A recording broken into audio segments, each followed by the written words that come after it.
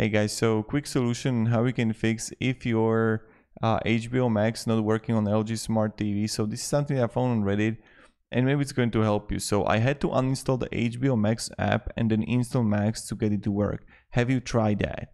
So Max was already installed through my TV without me doing anything. Try scrolling through apps. This is the first third thing. Now, another last two things, I manually installed the Max app on my two LG TVs, then I deleted the HBO Max app.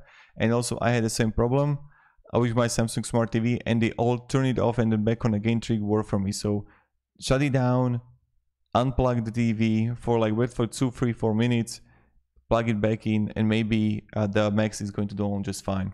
So yeah, this is the difference between if you have the Max and HBO Max.